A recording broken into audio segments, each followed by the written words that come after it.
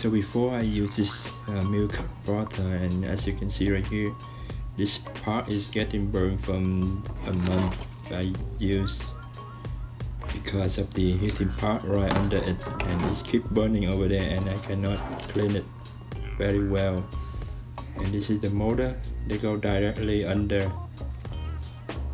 And this got broken somehow. I think the mill got uh, inside and burned some electronic parts. As you can see right here just go directly and cap it up by this uh, connect. And next this is a um, Proto device. And when I take it apart a lot of dirty thing under it's hard to clean with this, this kind of machine.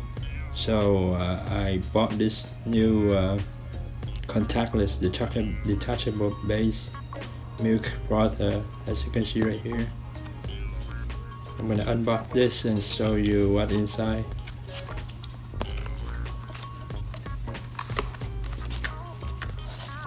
We have the cap the, the top and the base is right under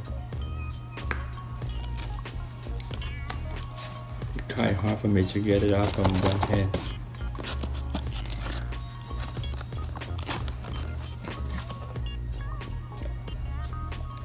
okay you can see the bottom is not connected to anything so it's pretty easy to clean. It came with two uh, magnetic uh,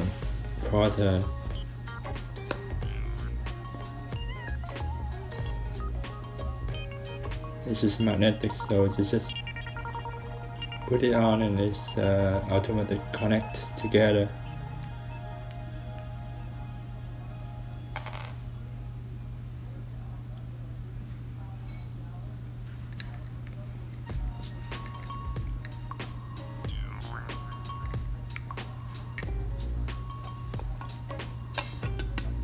It only came with two, so uh, don't lose it. If you lose it, it costs ten dollars to buy the replacement for that too.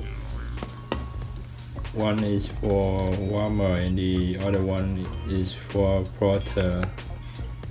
Yes, you can store it right here and it's magnetic again.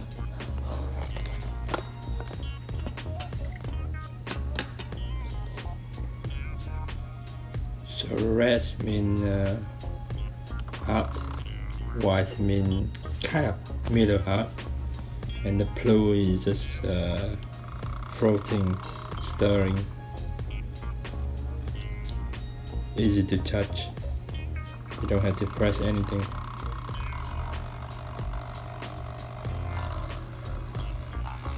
So first of all, I'm gonna rinse with uh, some hot water to clean it.